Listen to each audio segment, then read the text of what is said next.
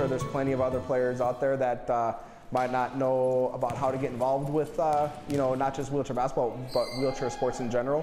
There's a lot of resources out there. There's something really exciting happening in Boise for the first time ever. We have a National Wheelchair Basketball Association team, and Idaho is now represented in the NWBA. A local man and his dad made it happen. Maggie O'Mara has the story of how this team came to be and the big plans they have for the future here in Boise in tonight's Sevens Hero.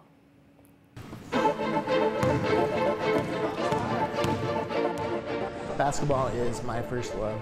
And so just being able to come out get some exercise you know doing something that you know that I enjoy it's been a lot of fun. Jake Simmons is now a proud member of Idaho's first national wheelchair basketball team the Gem State Falcons. Those that haven't seen us play ball before they're like oh man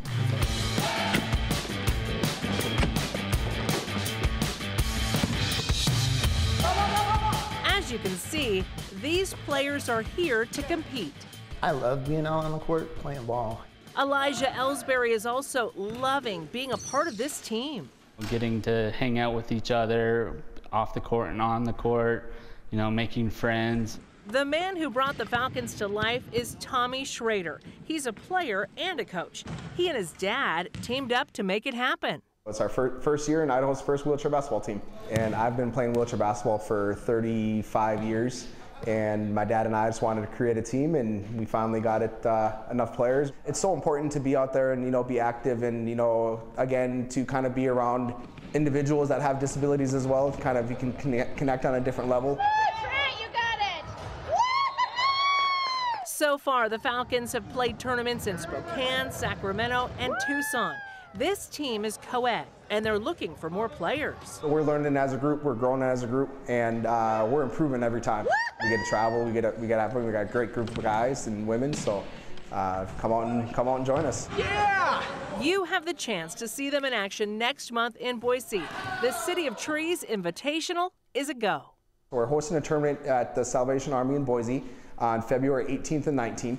We have teams coming from Spokane, Tucson, and Sacramento that are going to be coming here. Obviously, you know, the financial aspect of it, you know, we're a new team, so we don't, you know, we're kind of putting in personal money right now. So, you know, we're obviously, you know, hoping to get some outside help would be great, you know, some donations. You know, it's, it costs probably $30, $35,000 a year to run a team and be competitive. So we, uh, we, we need some help. Schrader has big goals for Idaho. He says he's just getting started. Eventually, it'd be great to have multiple teams. Right now, uh, since we are a first-year team, we're playing in the National Wheelchair Basketball Association Division Three, but there's also a Division Two and there's a Division One. Long-term goals, we'd love for you know Boise State to have a team because there's a collegiate division.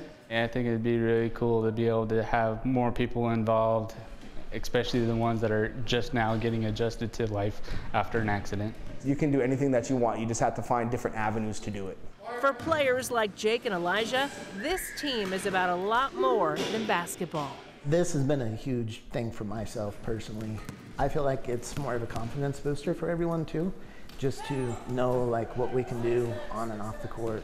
Tommy Schrader and the Gem State Falcons. This is year one. We're hoping to, you know, I want to be playing for another 30 years, so hopefully eventually I'll be playing in the 31st. Sevens Heroes. And again, the tournament in Boise is on February 18th and 19th at the Salvation Army Gym on Emerald. Another goal of this team is to let people who use wheelchairs know about it all and the sports that are here and available here in the Treasure Valley. And there's something for everyone. For more on the Gem State Falcons and how to donate to this great cause, just head on over to ktvb.com.